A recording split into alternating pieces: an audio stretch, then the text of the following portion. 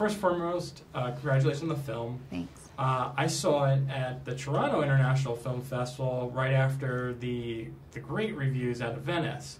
Uh, so my, my initial question for both of you is, um, both of you have been at film festivals before. What was it like premiering this particular film at those festivals? Um, I, I mean, I've been to, I'd been to one other film festival before, um, but it, this film was completely different um, vibe. I feel it was different audiences, um, and that was interesting to see. You know, the different people that turn up for different things, and you know, it's getting good reactions, which was very exciting to hear. Yeah, it was really fun. Uh, Venice is is really really fun. It's just so beautiful there, Yeah. and it's just an incredibly magic place to show a film. And um, and then Toronto also is like such an incredible audience experience. It's really like the whole community comes out. So. Um, it was really fun, and of course, when people like your movie, it's a lot better. it's a lot better experience at a festival, so that was fun too. Um, I hate asking this generic question, but I, I'm very curious to hear the answer to it. Um, what were your initial reactions when you read the script? I mean, because it's a very jarring film and it's a very powerful film and it's very, you know, the, reactions are probably all across the board for this. So I was just curious what you, your reactions were when you read it.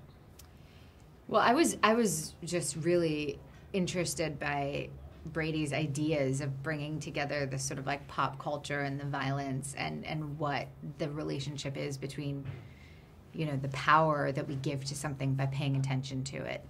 Um, and then of course with this character in the middle that's like completely wild and extravagant and unlike anything I had read before. Yeah, I um I hadn't completely finished the uh, script before I spoke to Brady, but the way that he spoke about it, you know, was really you know made you really want to do it. And then it was such an amazing, you know, amazingly written script, and there was two characters that I would get to play, and also it's kind of a a really contemporary piece about the last decade of what's happened in the world, um, which is really interesting for me to kind of because I like I wasn't really around when a lot of it was happening, so it was kind of interesting to discover all of that through a different character. Awesome. Um, my favorite scene in the film, uh, and probably just because I'm a press person, was the scene at the press table, the round table scene. Um, so going off that, I have to ask because I know that some of us decide to ask you very weird questions. what was your least favorite? Well, what is your least favorite question you have been asked at a press event?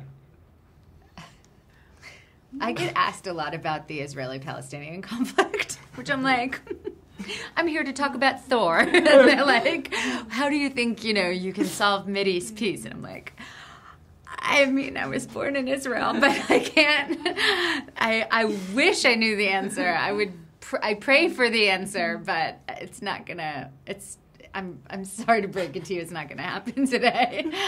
Um, I mean, I don't have any any of those interesting questions. Um, I don't think I've really had any like that. Like I like the ones that are just quite simple, you know, easy answers, quick fire. So I don't mind any questions. Okay, awesome. Well, thank you so much. Congratulations. Thank you. So wonderful meeting you. Thank you.